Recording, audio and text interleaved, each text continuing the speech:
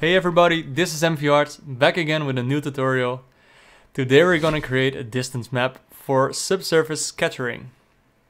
As you can see, I've been working on a character. This character is gonna be a mascot for my channel. When I was working on the shading, I came up with a way to generate an accurate subsurface scattering map. Quickly, what is subsurface scattering? Subsurface scattering is what you see when you have a light hitting your subject from behind. Through the ear you can see a reddish glow of light coming through. You can also see this effect in candles. What we need for our model is a way to tell which parts of the mesh have subsurface scattering and what parts don't. Also we need to tell Blender how strong this effect needs to be. For a PBR shader like the principled shader in Blender, we need a black and white map. These black and white maps I like to compare to a painting template. We can see our mesh as our surface we want to paint on. Let's say we want to paint a certain symbol on a brick wall. We use the template to cover up the areas of the mesh we don't want to be painted. When we remove the template, all the pieces that weren't covered are now a new color. In this metaphor, the new paint layer is our mixed in color or shader. Okay, this is the easiest way I found to generate a distance map within Blender. An important note is that this method only works on an unwrapped mesh. So you can make a smart UV unwrap or do a proper UV unwrap, but you definitely need UVs. For this to work we need consistent lighting. Why do we need consistent lighting? Because we don't want a gradient fall off in the bake because this is going to determine the strength of the subsurface scattering. What we don't want is our model to be different on the other side. For example, in the ear, we don't want the left ear to potentially have less subsurface scattering than the right ear. That is why I always like to start with a sphere. So what we're going to do, we grab a UV sphere and we're going to scale this one up till it fits around the scene. I've already created a camera. So we can see what is happening. What we need to do is place the sphere in the middle of the mesh. Because the light rays then travel an equal distance. How we're gonna do this is select our character, go into edit mode. Select all the polys. You see here the middle is indicated by this circle. If we hit shift S and cursor to select it. Then edit, uh, then exit edit mode. If we select the sphere, shift S again and say selected to cursor. You saw a shift in the sphere. I'm gonna rename the sphere to emitter because we're gonna apply an emission shader to this. First things first, I wanna recalculate the normals of the emitter so that I'm sure they point inwards. How can we do this? We go into edit mode, select all the polys and hit Ctrl N. Nothing happened. That's because if you hit T or F6, you can make the normals consistent, consistent with the inside. Now that is done, you saw the normals flip. Of course, we could have done this within the specials menu, which you can get if you hit W and say flip normals. Flip normals again. Okay, we can leave edit mode, maybe set it to smooth shading, and yeah, that's it. We can set up an emission shader.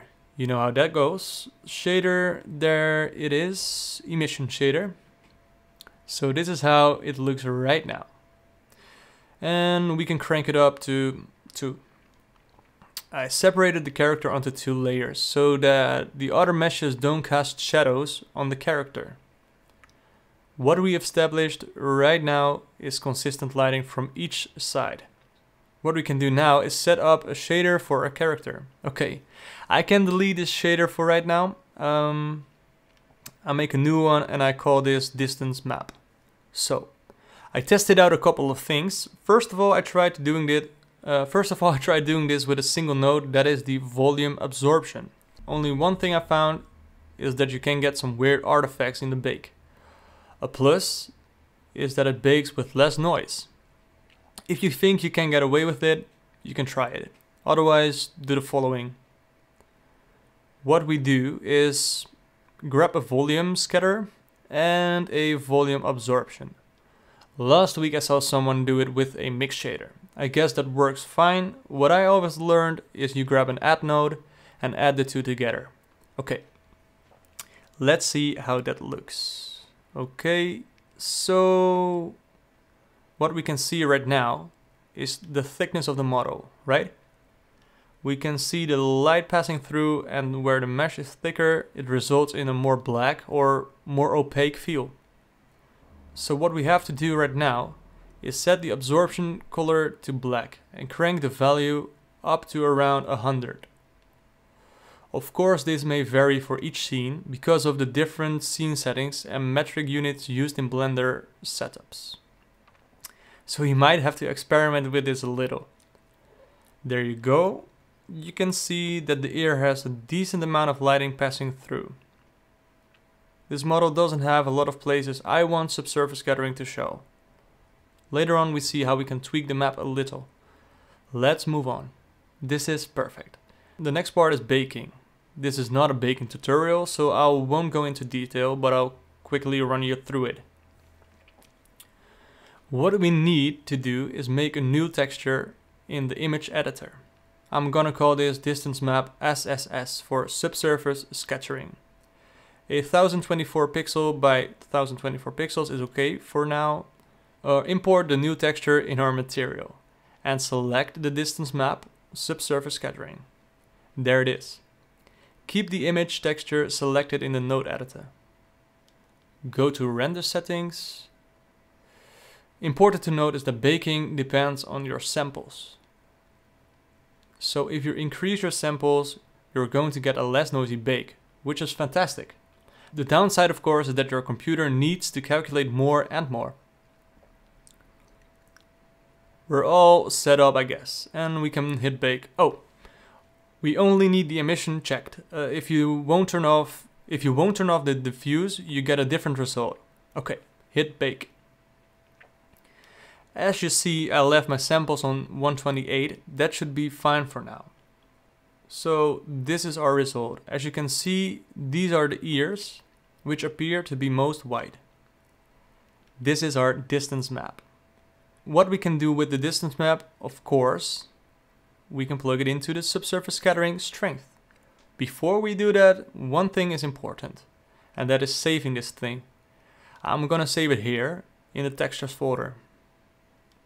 I do this because if we don't do this and you restart Blender, our map is gonna be gone. And that we don't want. We don't need it here, so we can copy it from this shader to our skin shader. Uh, and plug it into the subsurface strength. First of all, I show you how it looks right now. This is how our map looks right now on the mesh. You can change the color to something you like. Sometimes I like to pick a very contrasting color to see what is happening. Then, then let's see how it looks right now. Maybe pick a different color to match a bit better. Sometimes you still see some artifacts, but we can fix that. Okay, what you can do right now is place a converter color ramp in between, so we can tweak the map a little bit.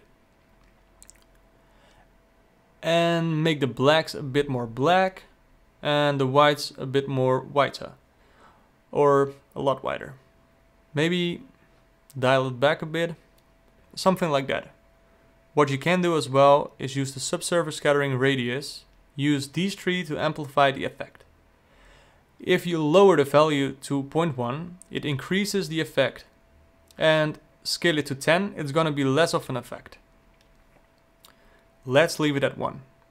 Also, we can do a math node in between. Converter, math node, multiply.